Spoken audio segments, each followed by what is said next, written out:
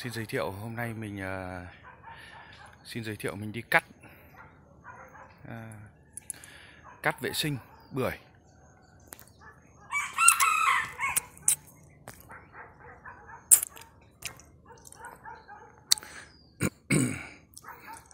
Đây là vườn bưởi giống mới nhá. Bưởi giống mới. Đó. bưởi giống mới này mình uh, mới trồng được một năm. Cây rất là khỏe trên vùng đất đồi của huyện Ba Vì. Đấy. Ở khu vực còn trống này, đất còn trống này thì mình cứ mùa nào trồng cái loại đấy, mình à, thay đổi trồng à, vừng với cả đỗ tương để cho tạo cái lớp đất tơi xốp. Còn cái đất vườn này thì mình cũng trước khi trồng bưởi là mình đã dùng máy múc mình đảo một lượt lên, sâu khoảng à, 60 đến 80 thế cho nên cái lớp đất này bây giờ cứ mưa xuống là đất rất là tơi xốp. Đấy, đây và những, đây là những cây cây bưởi mình trồng một năm. Cũng chăm sóc đơn giản thôi, mà nó đã tốt như thế này rồi. Đây là xin giới thiệu cái cây à, bưởi bố mẹ của nó đây. Đấy, nó đã to như này. Đấy. Cây bưởi bố mẹ là đấy. Đấy thấy không? Rất là to cao. Ừ. thế còn đây là là giống bưởi giống mới đây mình uh, ghép đây mình mới ghép đây ghép lên rất là tốt. Đấy thấy không? Thấy không? Đấy, nhìn mắt ghép này. Đấy mắt ghép này. Mắt ghép này. Đó thấy không? Ghép lên tốt chưa? Đó ghép lên tốt chưa? Đấy. Bây giờ mình sẽ đi uh, cắt tỉa nha. Đấy, giới thiệu với con đây là một ờ, cây bưởi một năm tuổi. Cây bưởi một năm tuổi. Đấy. Đấy, bây giờ nó đang lên tầm này nó đang cao khoảng một mét rưỡi ở những cái ngọn cao nhất là một mét rưỡi tính từ mặt đất. Và nó có rất nhiều cành lò xòa. Đấy, tuy nhiên là để uh, uh, cho cây nó phát triển mạnh và chống được sâu bệnh nó sạch sẽ thì chúng ta sẽ dọn cắt bỏ những cái cành mà uh, không để nuôi sau này. Đấy, bởi vì bây giờ nó là cái lớp cành uh, lớp thân đầu tiên. Đấy, thì chúng ta chỉ cần để những cái lớp thân chính nên sau này khi cái ngọn nó lên uh, uh, vừa phải tức là nó cao ở độ vừa phải và cái, cái, cái thân cây nó ở dạng bánh tẻ rồi thì chúng ta sẽ cắt để tạo tán. Thì hôm nay tôi mới là gọi là cắt dọn vệ sinh. Đấy bây giờ tiến hành ở cắt được cây này nhá. Đây. đây tất cả những cái cành này. Đấy. Cắt bỏ đây này những cái cành này nó không tác dụng gì cả. Cái cành không tác dụng này, mà nó lại sẽ bị nuôi dinh dưỡng tốn dinh dưỡng của đất. Thế cho nên là cắt bỏ để tập trung dinh dưỡng cho những cái cành chính là cành này. Đấy. Từ những cái cành này nó còn có những cái vết sâu bệnh này thì tốt nhất cắt bỏ vứt ra ngoài cho sạch sẽ. Đây nha các bạn nên nhớ cái vết cắt bởi vì là cái thân cây này nó còn bé cho nên cái vết cắt cũng không ta không nên cắt sát thân quá mà nó hại đến thân thân chính mà nó cắt chừa một đoạn ngắn như này. Thế sau này cái thân này nó lớn lên thì cái thân này nó sẽ liền sẹo rất là nhanh. Đấy, như cành này cũng cắt bỏ cắt bỏ Đấy. cắt bỏ Đấy, thấy chưa? Đẹp chưa? Đấy. đây là cái tổ này tổ bộ ngựa tổ bộ ngựa bám dứt bỏ cành này cắt bỏ hết. Ví dụ những cái cành này cũng thế này.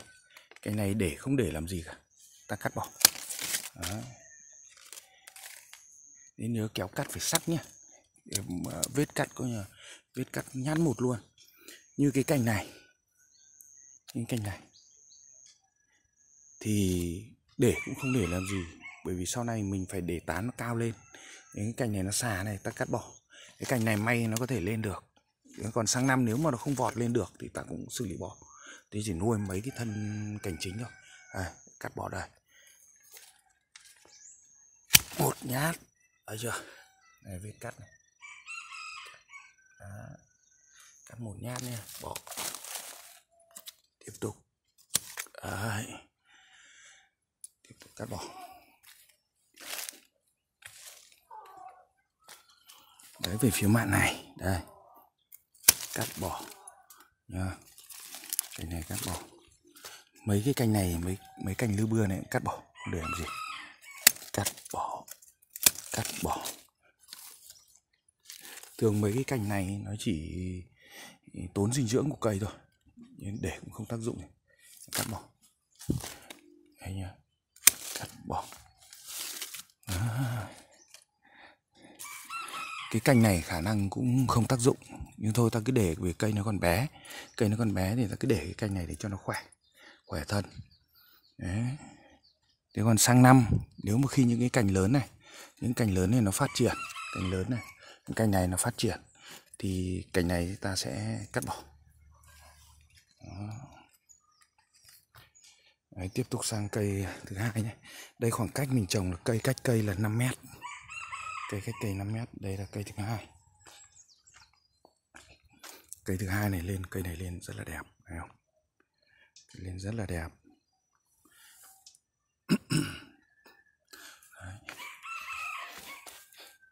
các bạn các bạn nhìn à, cái gốc gốc cây bưởi mình mới trồng một năm nhá một năm tuổi mà nó đã như này Đấy.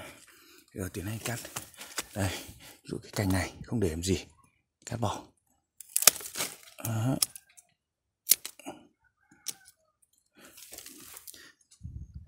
Đây, những cành này cắt bỏ cành này cắt bỏ Đấy. cành này cắt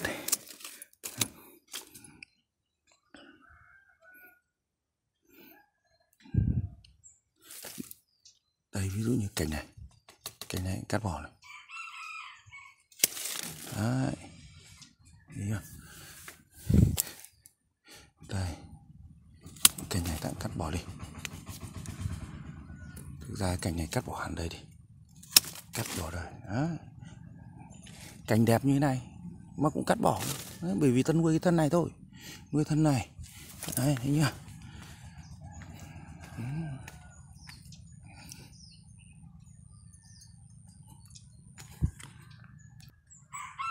Đấy, đây này ví dụ như cành này không để làm gì cả.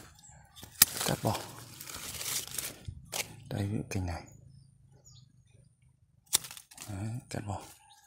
Cành này cắt vào không tác dụng gì. Đấy. thấy chưa? Cây thoáng đẹp chưa? Còn toàn cành khỏe thôi. Còn toàn cành cành khỏe thôi. Còn cành cành khỏe. Ấy đẹp chưa? Nha. Thấy nhá mầm lộc à. Mầm lộc nữa. bà con nhìn này gốc. Gốc ờ, này mới trồng năm đấy. Đây giữ cành này. Khử bỏ. Cành này khử bỏ này. Không phát triển được. Khử bỏ. Đó. Ừ. Đấy.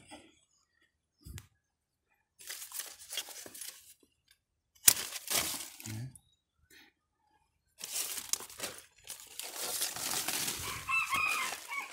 Chưa?